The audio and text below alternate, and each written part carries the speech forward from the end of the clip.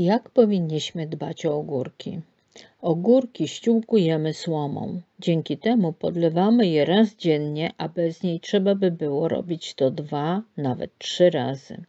W czasie upałów duża powierzchnia liści oznacza szybkie parowanie. Liście szybko by smutno wisiały, a tak ściółka pomaga nam w utrzymaniu wilgotności. Usuwamy wąsy, sami je przyczepiamy do podpór. Wąsy w przyrodzie pomagają im piąć się, ale nam mogą przeszkadzać, czepiając się wszystkiego, co złapią, a tak sterujemy ich pięciem się w górę.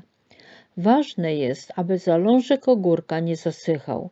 Niektórzy rekomendują, aby pierwsze zalążki usuwać, ale my tak nie robimy, gdy jest upalna pogoda.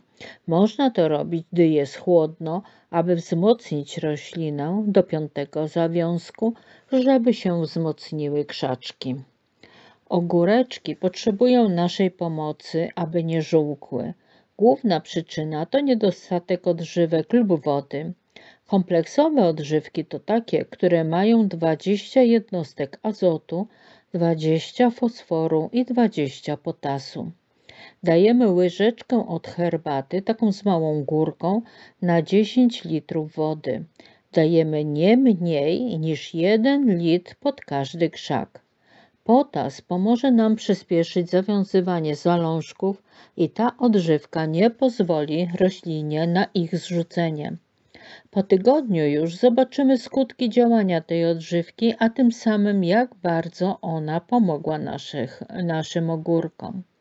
Ze względu na upał rośliny potrzebują codziennego podlewania, a więc codziennie dajemy po jednej łyżeczce tych składników na wiadro wody. Wiadro wody jak zawsze to 10 litrów. Powoduje to rozwinięcie nie tylko rośliny, ale i owoców.